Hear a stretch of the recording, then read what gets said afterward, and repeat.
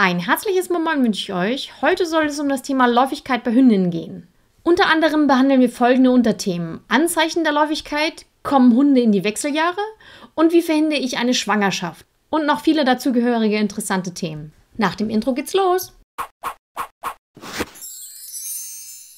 Was solltest du vorab über die Läufigkeit wissen? Die Läufigkeit oder auch Hitze genannt bezeichnet die fruchtbare Phase des Sexualzyklus der Hündinnen. Der Körper der Hündinnen verändert sich, Hormone werden ausgeschüttet und das Verhalten wird beeinflusst. Dieser natürliche Vorgang tritt bei allen Hündinnen ein, die ihre Geschlechtsreife erreicht haben. Anzeichen für eine Läufigkeit bei einer Hündin.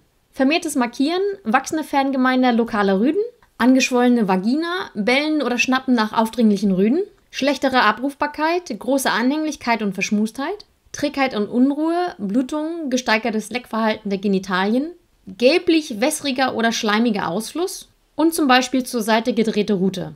Häufig steht die Frage im Raum, kommen Hunde auch in die Wechseljahre? Im Gegensatz zu uns Menschen kennen Hunde keine Memopause. Wechseljahre, in denen die Menstruation ausbleibt, gibt es bei unseren geliebten Vierbeinern nicht. Die Hündin wird also bis an ihr Lebensende läufig. Was hat es zu bedeuten, wenn deine Hündin auf einmal doch keine Läufigkeit mehr zeigt? Wenn die Läufigkeit im Alter ausbleibt, kann es sein, dass die Anzeichen einer Läufigkeit deutlich unterdrückt sind. Dann sprechen wir von der sogenannten stillen Hitze.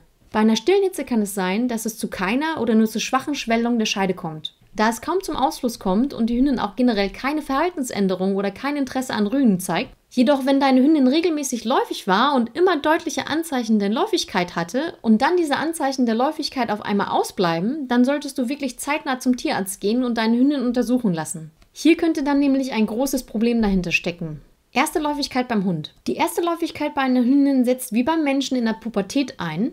Während kleine Hunderassen bereits mit sechs Monaten zum ersten Mal läufig werden, erleben Hündinnen große Rassen, die sehr viel später ausgewachsen sind, diese Phase häufig erst im Alter von zwei Jahren. Danach sollte die Läufigkeit ein bis zweimal im Jahr regelmäßig stattfinden.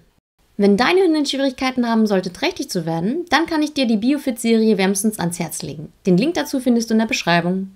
Lass uns kurz auf die Phasen der Läufigkeit eingehen. Die Läufigkeit einer Hündin beginnt mit dem Proöstrus. In dieser Phase kommt es zum Anstieg des Hormons Östrogen. In dieser speziellen Phase ist die Hündin auch für Rüden sehr attraktiv. Auf den Höhepunkt des Östrogenspiegels kommt die Hündin in den sogenannten Östrus. In dieser Zeit der Standhitze finden mehrere Eisprünge statt. Die Vulva schwillt ab und der Scheidenausfluss wird wässriger und manchmal schleimiger. Sollte es in diesen Tagen zu einem Deckakt kommen, ist die Wahrscheinlichkeit einer Befruchtung sehr hoch. Nach circa neun Tagen der Östrusphase beginnt die Nachbrunst. Die Läufigkeitssymptome, wie zum Beispiel die geschwollene Vulva oder der wässrige Ausfluss, verschwinden nach und nach. Unabhängig davon, ob es zur Befruchtung kam oder nicht, produzieren die Gelbkörper das Hormon Progesteron, das die Einnistung und Wachstum des Embryos in der Gebärmutter fördert. Nach Wochen der starken hormonellen Veränderungen pendeln sich die Sexualhormone wieder auf Normalzustand ein. Dies nennen wir die Anöstrusphase. Hier noch ein kurzer Tipp, wie du die Schwangerschaft deiner Hündin durchaus auf natürliche Art und Weise verhindern kannst. Deine Hündin kann erst ein bis zwei Tage nach der Blutung trächtig werden. Auch noch wichtig zu erwähnen ist, dass deine Hündin auch schon während der ersten Läufigkeit trächtig werden kann.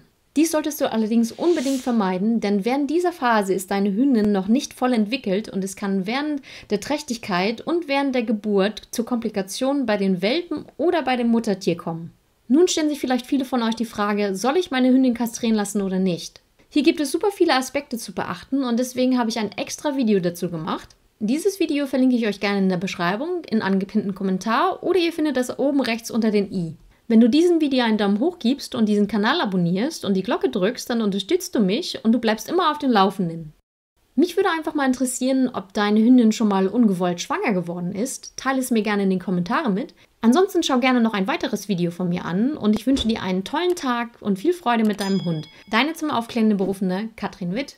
Erfahrungen zeigen, dass viele unserer geliebten Hunde häufig Verdauungsprobleme, Allergien, Ohrenentzündung, Hautprobleme und vieles mehr haben. Damit dein tierisches Familienmitglied weitgehend von diesen Erkrankungen verschont bleibt, schenke ich dir jetzt sehr gerne meinen gratis Hundefutter-Report. In ihm lernst du, wie du ein gutes Hundefutter von einem weniger guten Hundefutter unterscheiden kannst, damit dein Hund die Chance auf ein langes und gesundes Leben mit dir hat. Bereits hunderte Menschen haben sich ihn schon heruntergeladen und haben einen zufriedenen und fitten Hund an ihrer Seite. Du erfährst zum Beispiel, wie du Zusammensetzung richtig liest und dass der Preis eines Hundefutters nicht ein Hinweis auf gute Qualität sein muss. Oder auch, wie du weniger Geld beim Tierarzt lässt.